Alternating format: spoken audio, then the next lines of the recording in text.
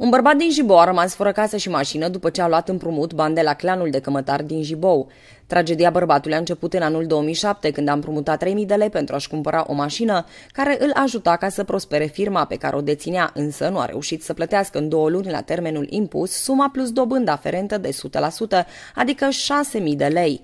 Ca să-și poată achita datoria, s-a împrumutat încă o dată cu 5500 de lei de la fratele unia dintre șefii clanului, din cauza că afacerile nu au de curs cum s-ar fi așteptat.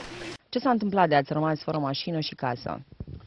În 2007, în cursul anului 2007, am împrumutat 3000 de lei și datorită faptului că nu am putut să respect termenul, termenul stabilit, adică în termen de două luni să restitui suma de 3000 uh, cu camătă 100%, adică 6000 de lei, uh, am rămas fără casă și fără mașină. Sigur, am fost amenințat, chiar bătut, de unii dintre ei și până la urma urmei nenumărate plângeri la poliție și așa mai departe. Ați încheiat un uh, contract la notar pentru acea sumă care vi s-a dat? Uh, sigur că da, povestea este foarte lungă, dar pe scurt vă pot spune că uh, am încheiat doar la presiuni, sigur, am fost chiar amenințat și cu moartea și nu aș vedea pe unul dintre, pe nicio persoană care, datorită faptului că este amenințat chiar cu moartea, să nu facă acest lucru.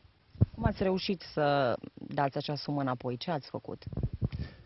Păi acea sumă n-am mai putut să dau înapoi, pentru că m-am împrumutat rând pe rând de la fiecare și ca urmare, așa cum v-am mai spus, mi-am pierdut casa.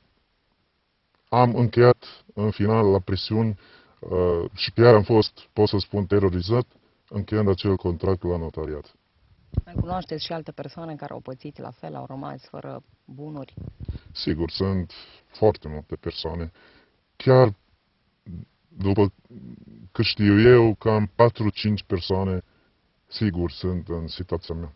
În momentul de față, mai plătiți rate la acești cămătari?